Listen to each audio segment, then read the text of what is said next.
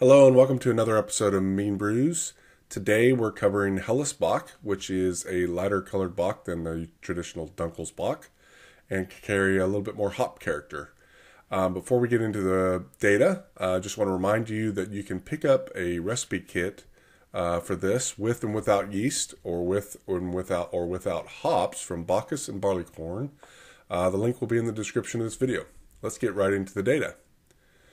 I found 33 award-winning Helles Bock recipes um, dating back pretty far. Uh, there were zero Best of Show recipes, so this style doesn't seem to take Best of Show very well. Um, however, there are 19 gold, 3 silver, 9 bronze, and 2 award winning recipes.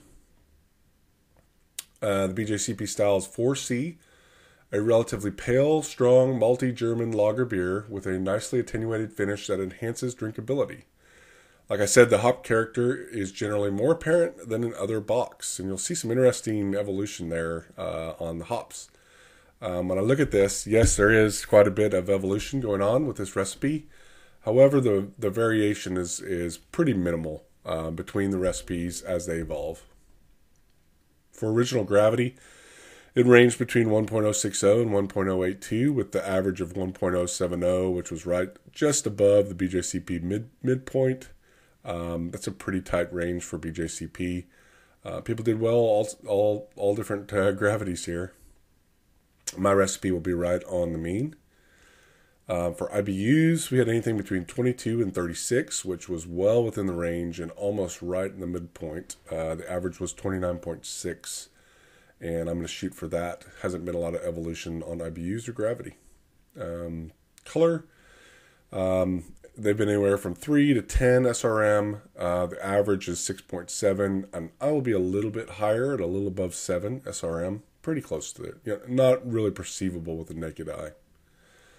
Um, we are seeing the color decline over time, a pretty tight correlation here at 0.72.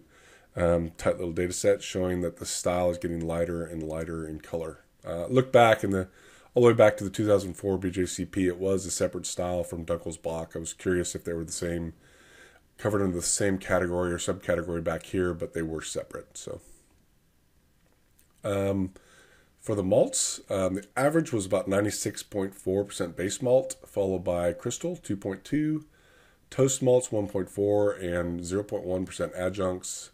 Uh, when you look at um, if they use that malt, um, you know, looking at the base malt, anywhere between 87 and 100% of the grist base malt, um, I will be on the low side, right at about 92% uh, for my recipe. And when we zoom in on these down here, um, crystal, we had about, um, sorry, going getting ahead of myself here. Um, anywhere between no crystal and 10%, and anywhere between 1 and about um, uh, 8.5% for toasted malts. Um, and then one recipe used an adjunct uh, at 3% of the grist. Um, as you know or may not know, a third of the recipes using it is the threshold where I will use it. So I will be using a crystal malt right around 6% and I will be using a um, toast malt right at about 3%. When you look at the base malts that the, these recipes use, most common, of course, is this Black Curve Pilsner, anywhere between 22 to 100% of the grist. Pilsner malt, uh, 100% of the recipes use Pilsner. The average was 65%. Uh, the next most common, common was uh, Munich malt. 85% of the recipes, a huge majority of the recipes used Munich with an average of around 27, but all the way up to 47% of the grist was the max. Um, next most common was Vienna. Um, right at 36% of the recipes used Vienna malt at an average of 23% of the grist. So I will be using all three. So I'll be right on the low side for all three, um, probably about 50% Pilsner, uh, 20% Munich, and a little, little under 20% Vienna. Probably why my color range is so uh, is on the high end of the average. Uh, for crystal malts, um, Carapils was the most prominent. We had around a little over 25% at an average of 6% of the grist. Uh, 27, 27% of the recipes use Carapils at 6% of the grist. And then we had a few recipes use a light crystal uh, malt. Uh, I will be using Carapils right at the average 6%. Toast malts, Um, melanoidin, aromatic, or biscuit malt were the three used. These are all in the same family. And uh, melanoidin was used in 21% of the recipes and an average of 3% of the grist. And I will be using right there at the average in my recipe. Pretty busy uh, recipe for a Hellesbock, honestly. Excuse me.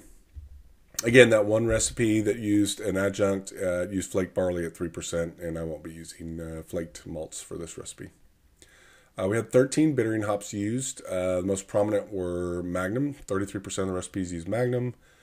18% use Hallar Mittelfrüh. 15% per- Perla. Uh, Tet, Saaz, Northern Brewer, and a slew of others there. Um, I will be using Magnum for my bittering hop.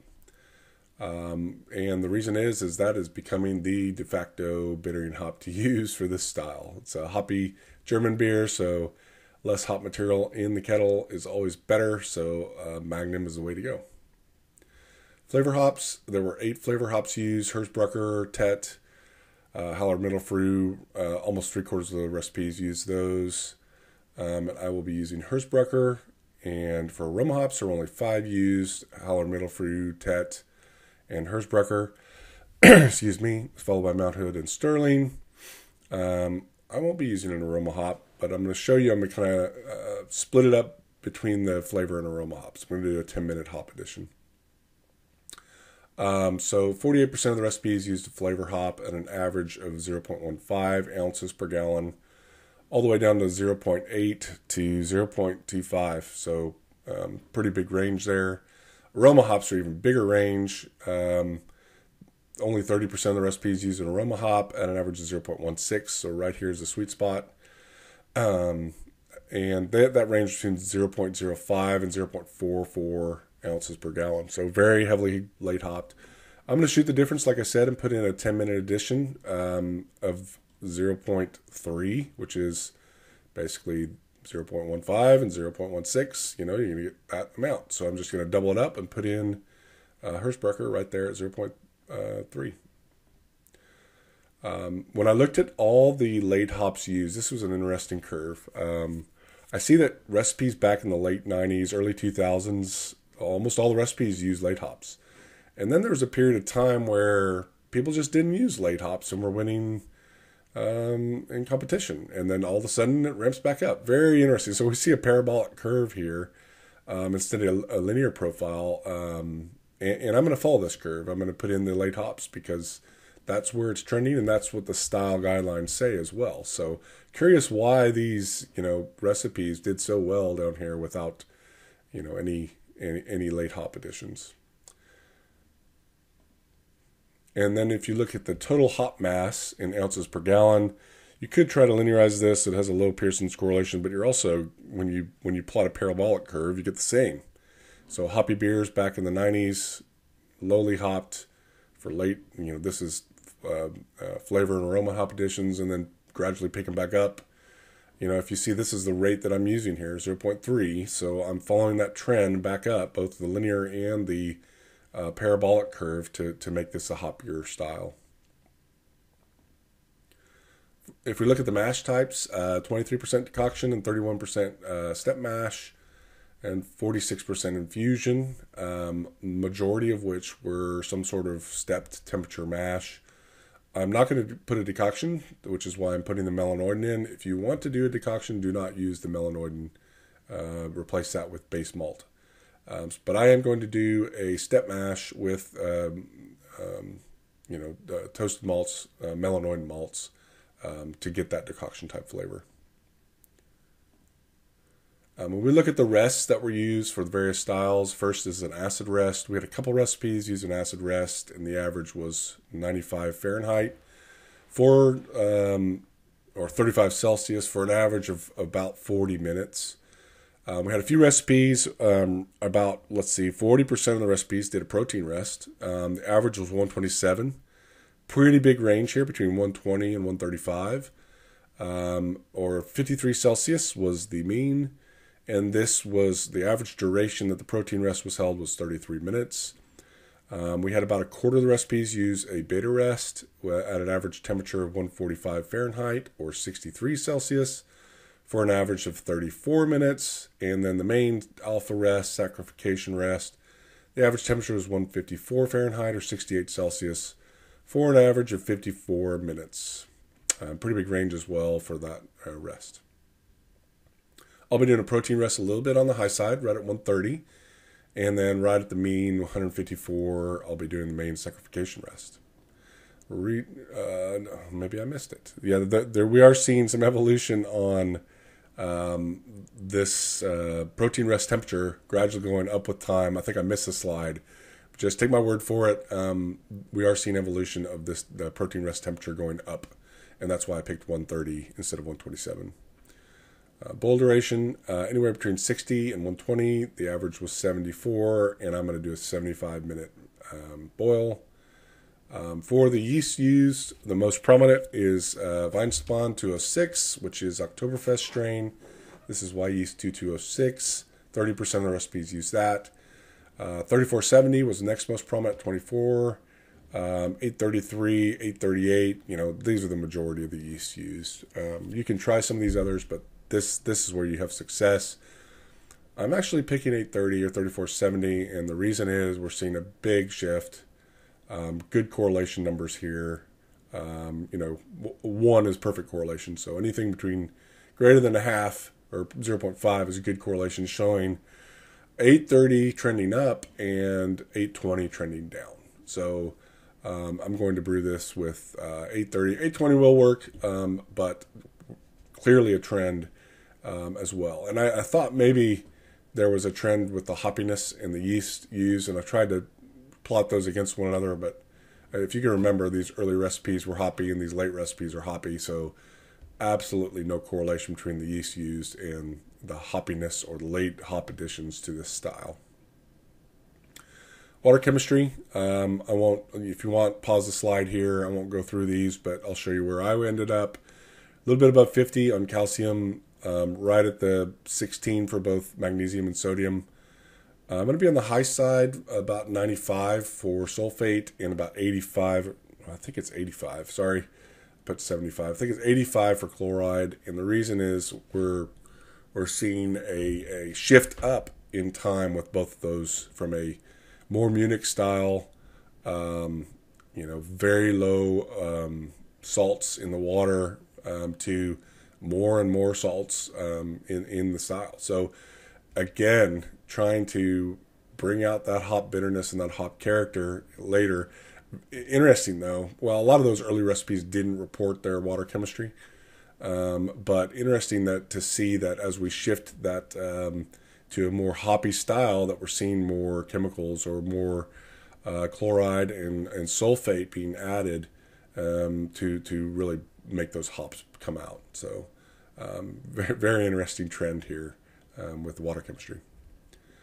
Um, fermentation temperatures, the average was 50 Fahrenheit or 10 Celsius um, for all of them, and didn't matter what strain you use, they all were right at 50 Fahrenheit. Um, I will ferment at 50. There was no change in time or evolution on that temperature. That's that seems to be the, the average. Carbonation volumes, average was 2.4 volumes of CO2, and the mash pH average was 5.35. I'm going to stick right at those. All right, on to the recipe. Um, just recapping what I went over earlier. Um, 51.7% uh, Weyermann Pilsner malt, um, 20.6% Munich 1 from Weyermann, uh, 18.4% Vienna malt from Weyermann, all the German malts, 6% Carapils, and 3.1% Melanoidin, just exactly what I showed you before. For the hopping, I'm going to start with about 22 IBUs of Magnum at 60 minutes. Um, and for Haller, I'm going to do 0.3 ounces per gallon of, of Haller Hersbrucker at, and put that in at 10 minutes. That's going to give me about 8 IBUs. And again, I'm going to use 2124 or uh, White Labs 830 or you know Fermentis 3470 you know there's a bunch of this this strain of yeast is all over the place. I don't know the omega but you'll see it in the data uh, in the description of the video the omega strain. Um, most this is one of the most common uh, lager strains out there. I'm going to shoot for 1.070 and 30 ibus and for my water chemistry i just went over that. Yes it is 85 not 75 apologize for that slide of chlorides and 95 sulfate. Um, mash pH of 5.35. I'm going to step mash 130 Fahrenheit or 54 Celsius for 30 minutes. And I'm going to do a um, 154 saccharification rest or 68 Celsius for 60 minutes. I'm going to mash out sparge and boil, and I'm going to boil for 75 minutes, which is right at the average. Uh, chill to 48 Fahrenheit or 9 Celsius. Oxygenate and pitch uh, 0.8 liters per gallon of of wort uh, starter using the 3470 yeast. So if you're using if you're making a five gallon batch, that is a one gallon starter, four liter starter. I'm going to ferment at 50 Fahrenheit for seven days, raise to 55, and hold for about two weeks as my diacetyl rest. Um, you know, play this by ear. If it's still actively fermenting, if you've got a tilt in there, um, shoot to start raising right when you see the knee in the bend, when it starts to flatten out uh, on the tilt, or you see less uh, bubble activity, or um, you know whatever you use to gauge when you're getting close to the end. Um, slowly chill this to lagering temperatures, uh, rack to secondary, and keg or keg and lager for seven weeks. The average was seven weeks that people lagered this style before they served it or entered it in competitions. Uh, transfer your bottle or keg and carbonate to 2.4 volumes. If if you've lagered that long and you're bottling, you probably need to add some more yeast. Um, your yeast may be gone or dead or whatever. So um, consider if you're going to bottle and not keg, um, add some bottling yeast. And that's it. Um, for my next few videos, I'm going to strictly pick styles that are suggested from each member on Patreon. Uh, so look up Mean Brews on Patreon if you want to propose uh, a style to cover. I will let every Patreon supporter pick the next few styles. I've got nine of them so far, so hopefully all nine will pick a style. So the next nine styles will be from there. Uh, thanks for tuning in, and uh, just to let you know, the next video has already been picked, and it will be Black IPA or Cascadian IPA. So hopefully I've got some data on it. If you've got some recipes for black IPA, I've got one so far. Uh, send it in. I've got very scant uh, data on that style. So looking forward to doing this, and we'll see you in a couple weeks. Bye bye.